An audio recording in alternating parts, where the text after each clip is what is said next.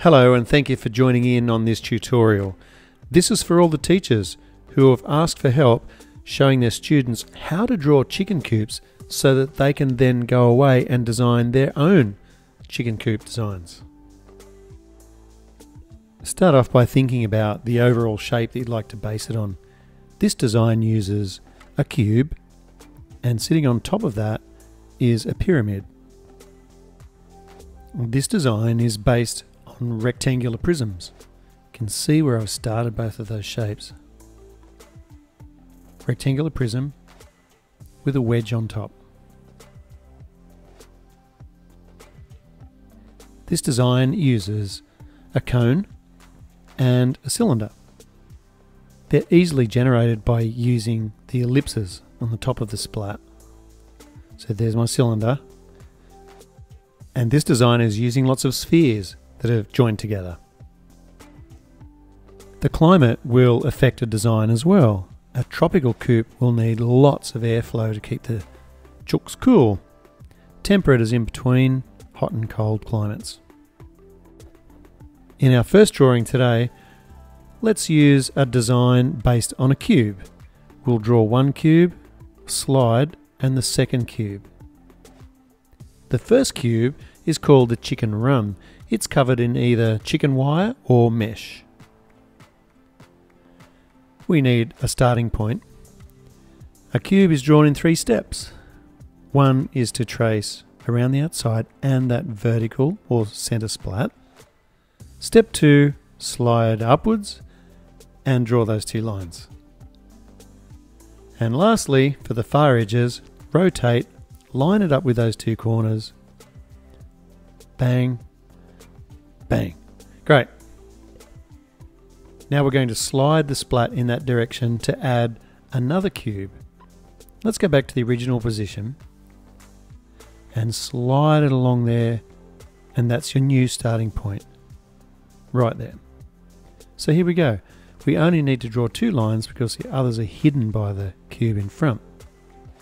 Step 2, slide up. Only one to draw there. Next step, we're going to rotate. I'm lining up the edge and the corner. And there's our two cubes. Next, you're going to want to grab a straight edge or a rule, and we're going to copy each of those lines and change it from a single line into what looks like some tubing.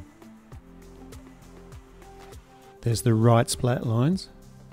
Now the vertical. Vertical means straight up and down. If this is actually see-through, then I'm missing some lines. So if I can see through the wire, I would see a line there and there. That represents the front of the wooden box, the second cube. To show you what I mean, let's add a doorway with two vertical and a right splat line. Make it look like a sheet of timber by copying a second one there. Here's how you draw a roost. Pick a spot and draw a circle. Now, what angle does it go across on? It will be the splat angle. So line the circle up with the end and draw all the way to the end of the splat. Copy a second line and then at the end fill it in with a half circle. There's your roost. Looks like it's floating in air, but it's not. Um, would actually be held onto the wire with a screw at each end. I'm going to erase there and draw a chicken on top. Try this one. A simple rectangle, add a beak and an eye, a crest on top, and then tail feathers of whatever shape you like. Add a wing, a foot, and there's your chook on a perch. Awesome. Here's the last line to draw in. This is the frame. Line up the splat, slide, and draw. Now it can look confusing with all of the lines seeming to head towards the middle. So I'm going to draw in an object like this feeder. You can see how it hides and makes it look more 3D. Let's have a go at a different shape using a small ellipse. Trace one, slide down, half an ellipse, join the sides. Now I've got a feeding dish.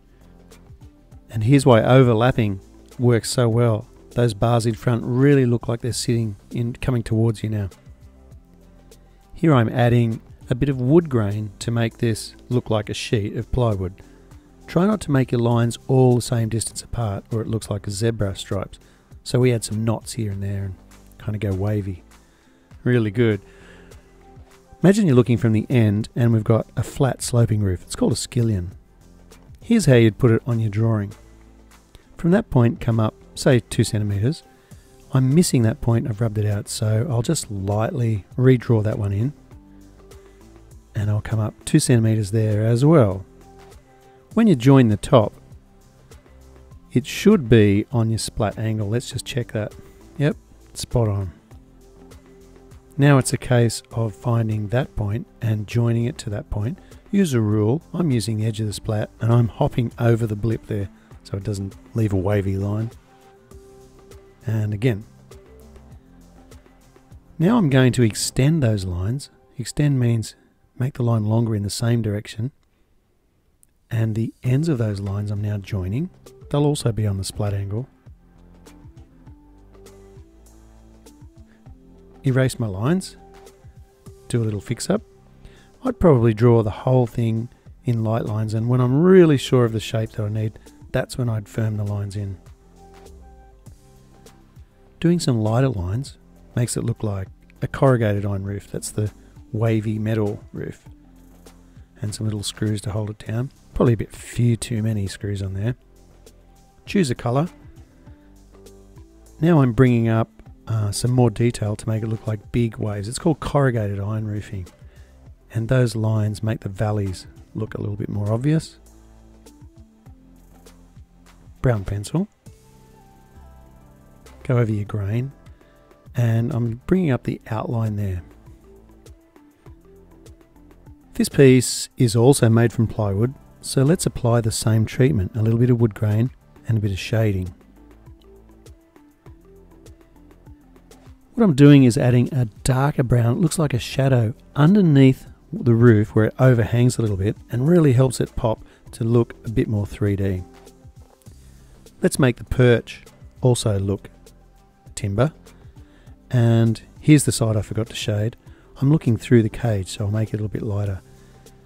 I'm coming near the end of my drawing so I'm tidying up my outlines now using a ruler Long lines like that are best done with a ruler as well.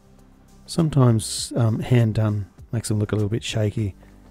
And I'm putting a little bit of detail in the bottom to suggest that this is grass. We don't need to put grass all over, a little bit here and there.